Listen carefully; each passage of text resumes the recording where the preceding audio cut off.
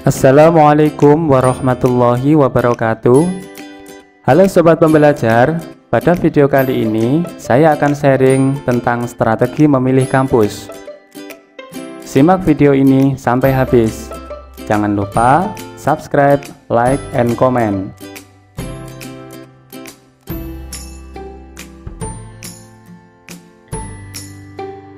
Sebelum lebih jauh, saya membahas tentang strategi memilih kampus di sini saya akan menampilkan teori yang dikemukakan oleh Thomas Robert Malthus. Teori yang dikemukakan oleh Thomas Robert Malthus tentang ledakan penduduk ditulis dalam bukunya An Essay on the Principle of Population.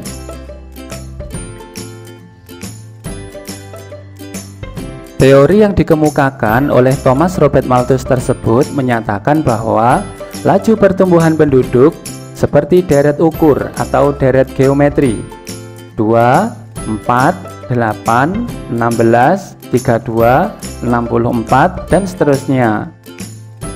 Sedangkan laju pertumbuhan pangan seperti deret hitung atau deret aritmatika 2, 4, 6, 8, 10, 12, dan seterusnya. Apabila digambarkan dalam bentuk grafik, teori yang dikemukakan oleh Thomas Robert Malthus dapat dilihat pada grafik berikut. Berdasarkan grafik tersebut, dapat kita lihat bahwa jumlah pertumbuhan penduduk jauh lebih cepat dibandingkan dengan pertumbuhan pangan. Sehingga untuk mendapatkan pangan akan terjadi kompetisi.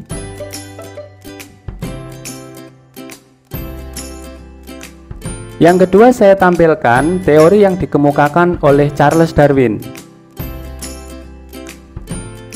Teori Charles Darwin tentang evolusi ditulis dalam bukunya On the Origin of Species by Means of Natural Selection. Teori evolusi Charles Darwin mengemukakan bahwa evolusi diakibatkan oleh mekanisme seleksi alam dan adaptasi di sini diambil contoh, ada jerapah leher panjang dan jerapah leher pendek. Sedangkan ketersediaan bahan pangan adalah daun-daun di dahan yang tinggi. Jerapah leher panjang dapat menjangkau dahan-dahan yang tinggi, sedangkan jerapah leher pendek tidak dapat menjangkau dahan yang tinggi. Akibatnya, Jerapah yang berleher pendek tidak mampu mendapatkan makanan, sehingga jerapah leher pendek tersebut mengalami kepunahan.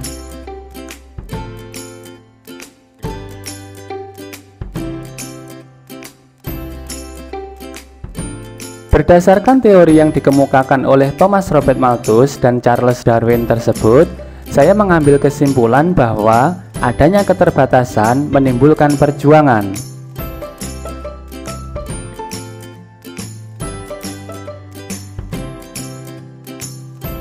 Sekarang kita akan melihat daya tampung SBMPTN tahun 2020 di kampus-kampus yang terbaik di Indonesia.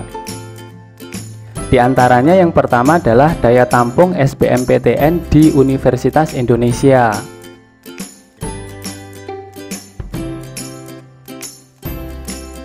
Saya membaca di beberapa surat kabar, di antaranya informasi ini dirilis pada tanggal 18 Februari 2020. Daya tampung SBMPTN 2020 di Universitas Indonesia.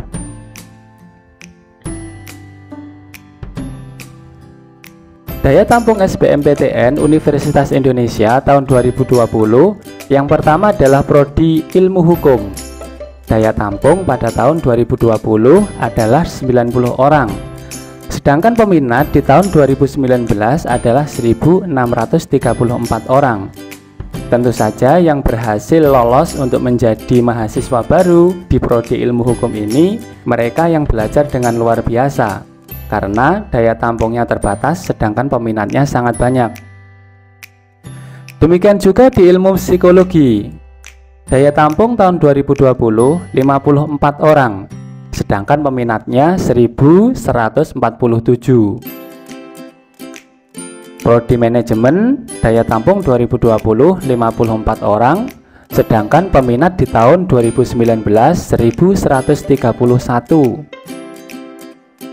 Bagaimana dengan prodi pendidikan dokter?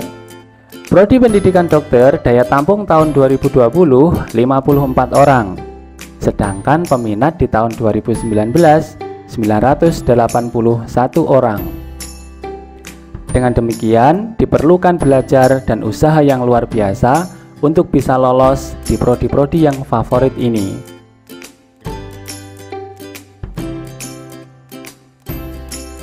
Selanjutnya daya tampung SBMPTN di ITB tahun 2020.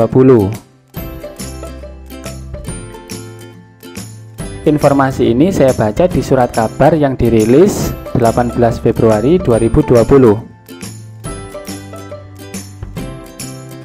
Daya tampung SBMPTN ITB tahun 2020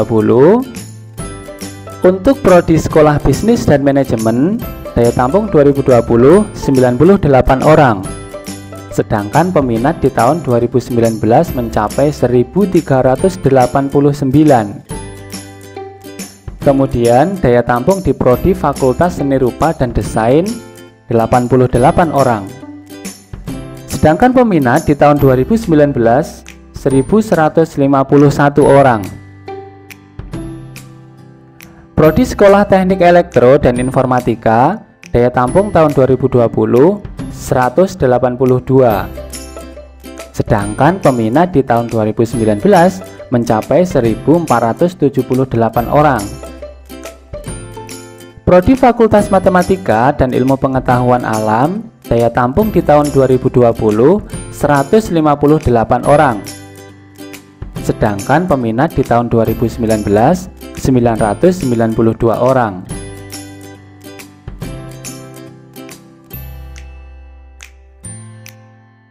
Kemudian saya berlanjut ke daya tampung SBMPTN di UGM tahun 2020.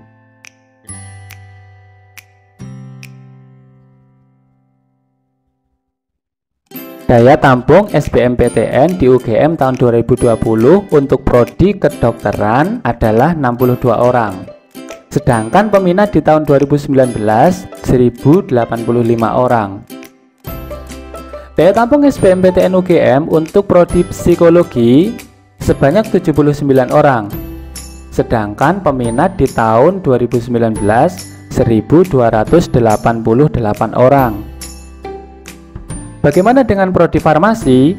Daya tampung di tahun 2020 84 orang. Sedangkan peminat di tahun 2019 1215 orang.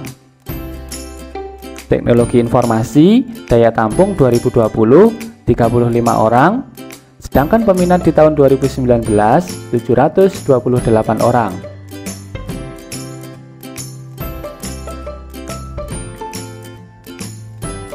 Selanjutnya kita lihat daya tampung SBMPTN di Universitas Brawijaya tahun 2020.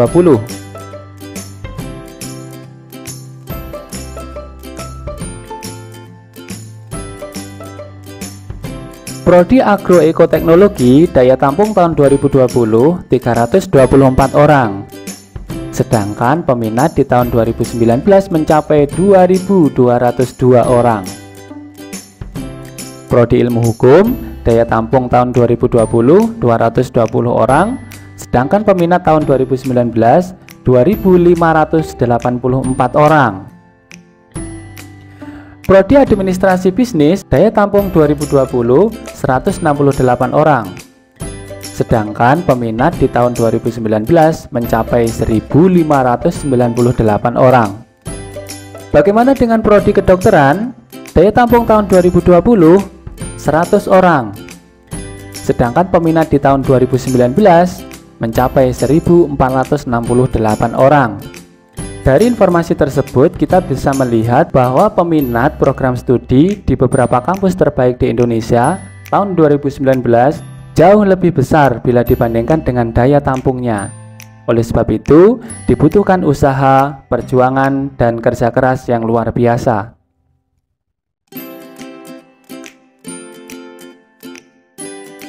Berikutnya, saya tampilkan 10 universitas terbaik di Indonesia tahun 2020 versi Webometric.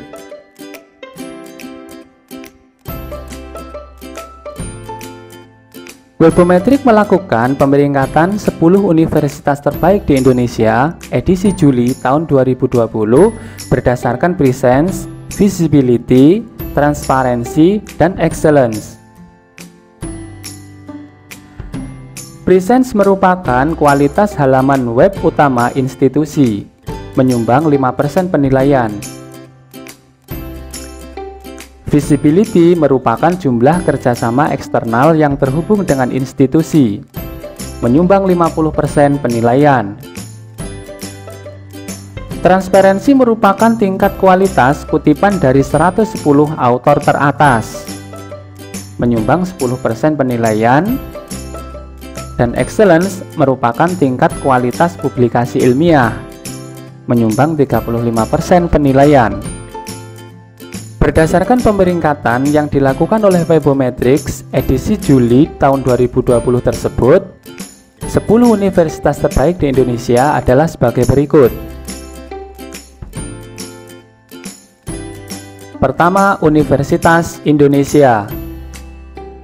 Universitas Indonesia memiliki beberapa jurusan, di antaranya adalah hubungan internasional, ilmu komunikasi, pendidikan dokter, sastra Inggris, teknik industri, dan psikologi.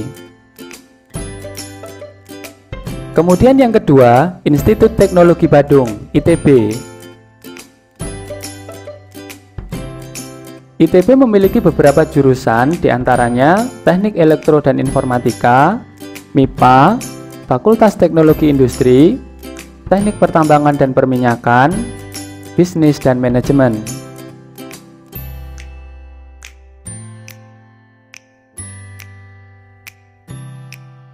Kemudian yang ketiga, Universitas Brawijaya. Beberapa jurusan di Universitas Brawijaya adalah agroekoteknologi, peternakan, kedokteran, dan teknik informatika. Selanjutnya, Institut Teknologi 10 November. Di antara jurusan yang ada di kampus ITS adalah Teknik Informatika, Teknik Elektro, dan Teknik Mesin. Selanjutnya, Telkom University.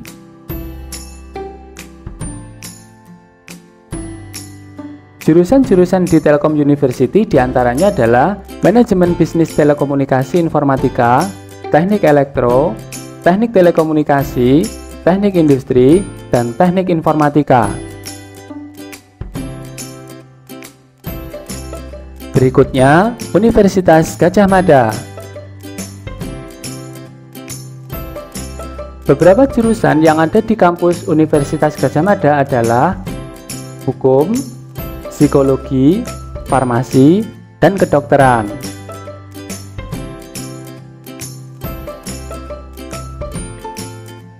Kemudian Universitas Airlangga.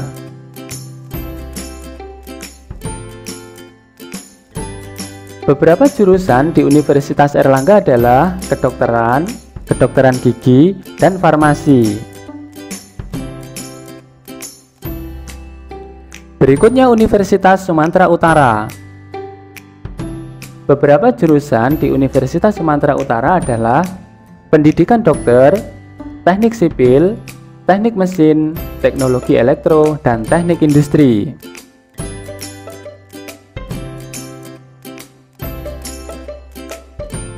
Kemudian Universitas Diponegoro. Beberapa jurusan yang ada di Universitas Diponegoro adalah Ilmu Gizi, Kedokteran, Teknik Sipil, dan Arsitektur. Selanjutnya, Universitas 11 Maret, UNS Surakarta. Beberapa jurusan yang ada di Universitas 11 Maret Surakarta adalah kedokteran, psikologi, ilmu teknologi pangan, dan farmasi.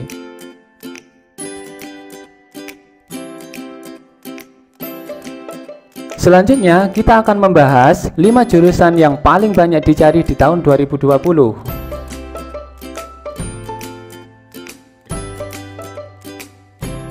Dilansir dari laman resmi GS World University Ranking, Jurusan yang paling banyak dicari di tahun 2020 yaitu Pertama, Teknologi Informasi.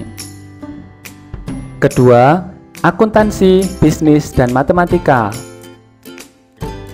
Ketiga, Ilmu Kesehatan dan Psikologi. Keempat, Desain Komunikasi dan Media. Kelima, Teknik, Hukum, dan Guru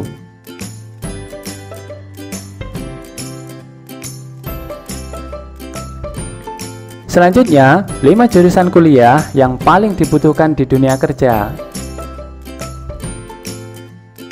Jurusan kuliah yang paling dibutuhkan di dunia kerja yang pertama, ilmu komputer atau teknologi informasi. Prospek kerja lulusan dari jurusan ilmu komputer atau teknologi informasi adalah sebagai IT manager, database administrator, dan sistem analis. 2. Ilmu data atau data science. Prospek kerjanya adalah di perusahaan teknologi digital untuk mengolah dan menginterpretasi big data. 3. Aktuaria. Aktuaria mempelajari bidang matematika yang disebut matematika asuransi. Ilmu yang dipelajari adalah pengolahan resiko keuangan di masa mendatang. Prospek kerjanya adalah sebagai aktuaris atau pemeriksa klaim dan asuransi properti. 4. Teknik biomedis Prospek kerja lulusan dari teknik biomedis adalah sebagai analis biologi dan kimia yang diperlukan dalam bidang medis, kemudian penelitian kesehatan, yaitu mengembangkan bahan dan sarana kesehatan. 5. Teknik mekatronika Teknik mekatronika merupakan ilmu mesin mekanik dan elektronika yang dihubungkan dengan informatika. Prospek kerja lulusan dari jurusan ini adalah pembuatan mesin-mesin industri, gedung perkantoran, dan sistem pengolahan tambang.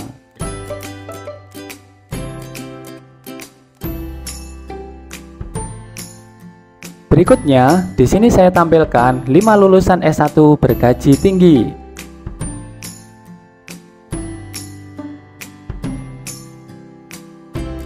Nomor satu adalah teknologi informasi. Berdasarkan US News and World Report yang dilansir cnbc.com, lulusan dari jurusan ini bisa mendapatkan upah kerja hingga 2 miliar rupiah per tahun.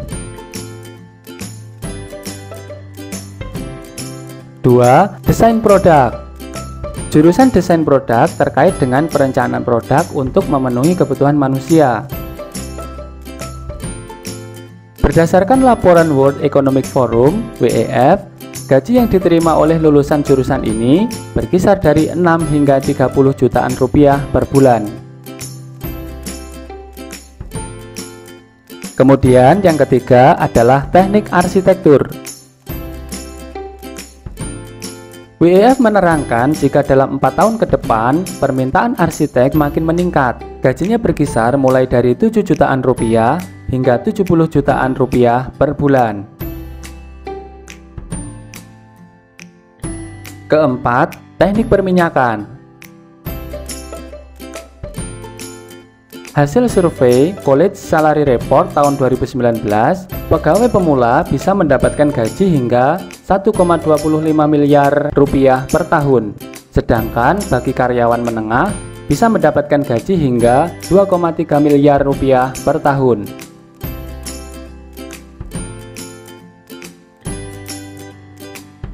Kelima, kedokteran.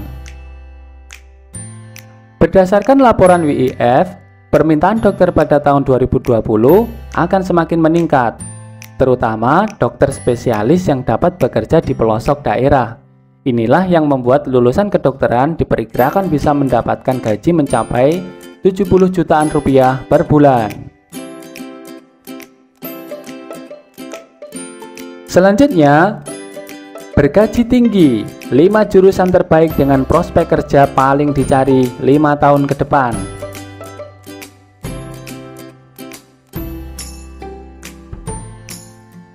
Pertama, ilmu komputer dan teknologi informasi. Ilmu komputer dan teknologi informasi ini terkait dengan sistem informasi, manajemen informasi, dan sistem komputer.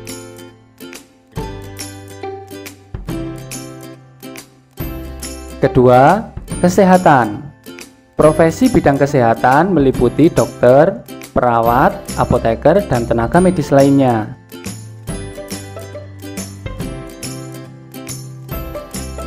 Tiga, ilmu aktuarial, yaitu pengolahan resiko keuangan.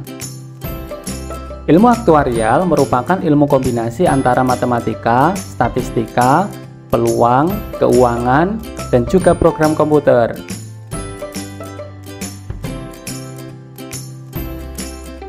Keempat, bioinformatika dan teknik biomedis. Bidang yang digeluti adalah inovasi alat-alat bidang kesehatan.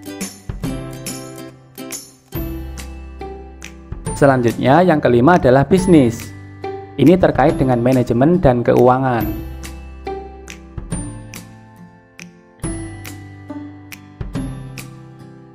Berikutnya kita akan membahas jurusan kuliah yang menjanjikan gaji tinggi berdasarkan survei.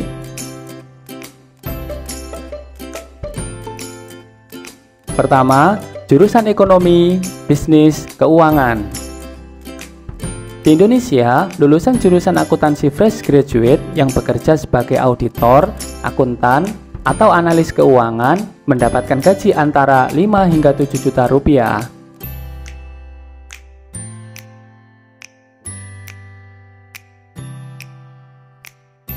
Dua, jurusan teknik.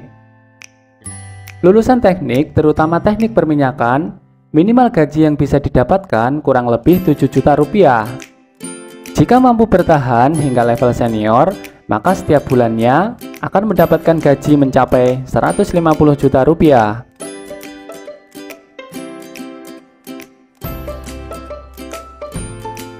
Jurusan Hukum Lulusan hukum yang bekerja di law firm atau firma hukum bisa memperoleh gaji antara 5 hingga 10 juta rupiah, tergantung besar kecilnya firma.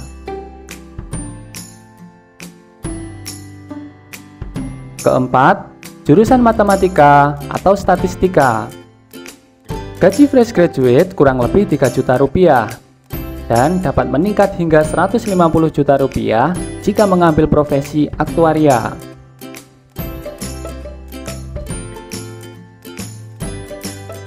5. MIPA fisika, kimia, biologi, dan geografi. Keenam, jurusan ilmu komputer. Lulusan ilmu komputer bisa menjadi programmer junior dengan gaji awal 3 juta rupiah. Jika sanggup menjadi analis sistem, bisa saja memperoleh gaji hingga 6 juta rupiah. 7. Arsitek teknik sipil, planologi, dan geodesi. Gaji fresh graduate antara 1 hingga 3 juta rupiah.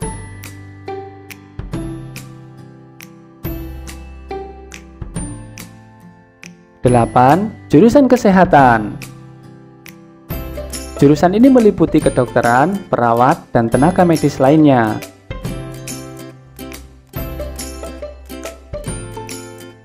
9. Jurusan Manajemen Bidang pekerjaan untuk jurusan manajemen sangat banyak, misalnya menjadi train, manajemen pemasaran, dan hampir semua manajer pastinya butuh ilmu manajemen.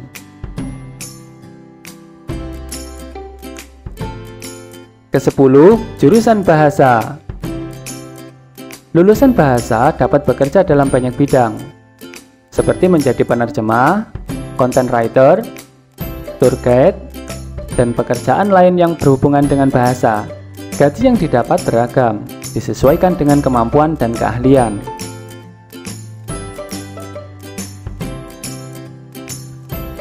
Pada laman ini, kita bisa melihat daftar gaji fresh graduate di Indonesia paling lengkap. Silahkan dicek.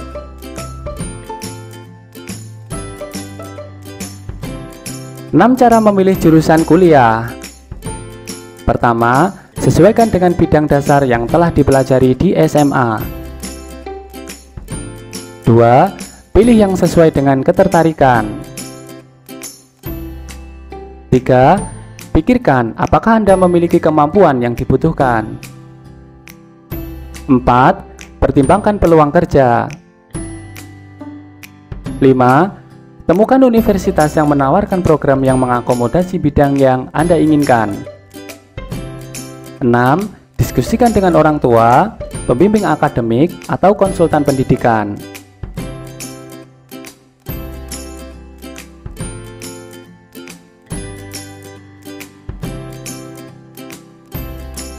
Demikian pembahasan tentang strategi pemilihan kampus. Semoga bermanfaat. Berjumpa lagi di video-video selanjutnya. Assalamualaikum warahmatullahi wabarakatuh.